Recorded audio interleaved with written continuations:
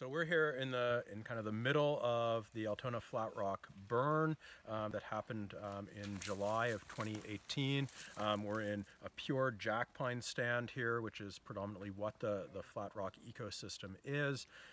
And about 500 um, acres burned during the summer, um, the last two weeks of July here. And what we're doing now with my forest ecology class is setting up plots where we can monitor um, and record how the forest uh, responds to the forest fire that happened.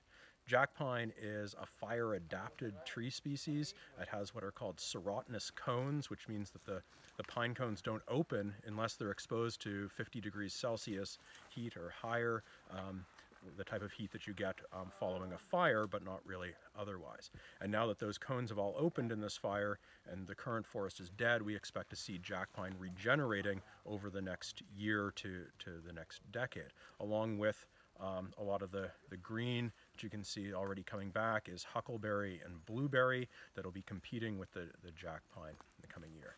Um, along with thinking about the forest regeneration, uh, my students are thinking about um, what's happened to the soil properties um, here following the burn. We're doing a lot of studies on, on wildlife, so we're um, looking at um, how deer are going to impact forest regeneration. We're trapping small mammals to see how they're using the area following the burn. We're putting up nest boxes um, to look at, at flying squirrels and bird populations uh, following the forest fire. And we're doing all of that here in the fire and in reference forest outside of the fire to see how wildlife habitat is um, differentially affected in the two areas um, and really how the, the fire creates a much more diverse ecosystem and a lot of different habitat types that wouldn't have existed here otherwise.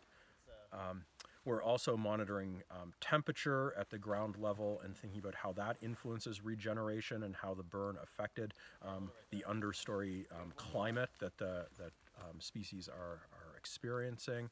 We're looking at um, the how the seeds are how the seed bank is responding to, um, or what the realized seed bank is, I should say, um, in greenhouse conditions versus what's actually germinating back out here.